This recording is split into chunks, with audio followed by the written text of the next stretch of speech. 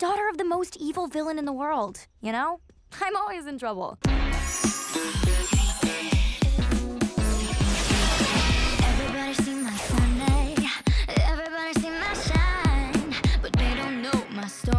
They don't know what's on my mind.